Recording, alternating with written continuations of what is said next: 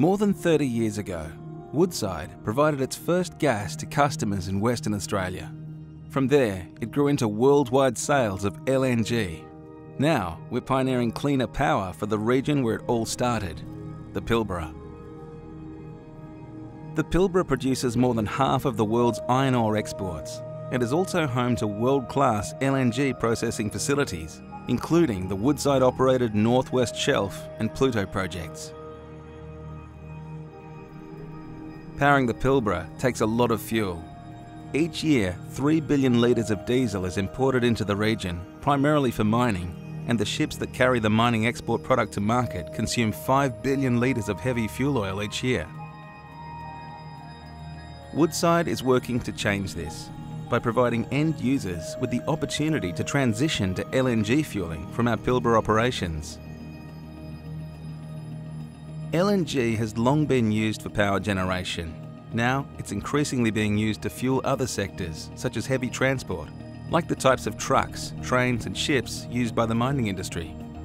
Environmental and health concerns are driving the world to cleaner fuels.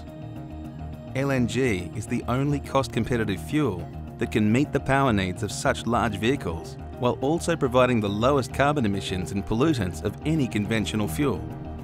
Compared to imported fuels, LNG produced and consumed in WA could reduce CO2 emissions by up to 30%, cut nitrous oxides by up to 90%, and virtually eliminate emissions of sulfur dioxide and particulate matter. For these reasons, major equipment manufacturers have been investing in technology to use LNG, and it's now possible to buy LNG fuel trucks, trains and ships. To enable the Pilbara to transition from diesel to LNG, Woodside is working with its Pluto LNG joint venture participants to build an LNG truck loadout facility. The facility will load LNG onto specialist tanker trucks for distribution Scheduled to be completed in 2018, it will provide trucked LNG drawn directly from the existing world-scale LNG production and storage facilities at Pluto. The trucks will enter the Pluto site on a dedicated entry road, fill with LNG, and then deliver into the Pilbara and beyond. LNG will be transported in highly engineered, double-walled stainless steel tankers one road train will deliver LNG equivalent to more than 80,000 litres of diesel. Stage 2 of Woodside's LNG Fuels Hub is in the planning and feasibility phase and will include infrastructure to provide LNG fuels to large ocean-going ships such as iron ore carriers.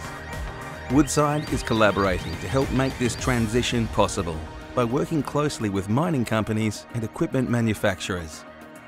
As the world increasingly turns to cleaner fuels, LNG is likely to become a fuel of choice.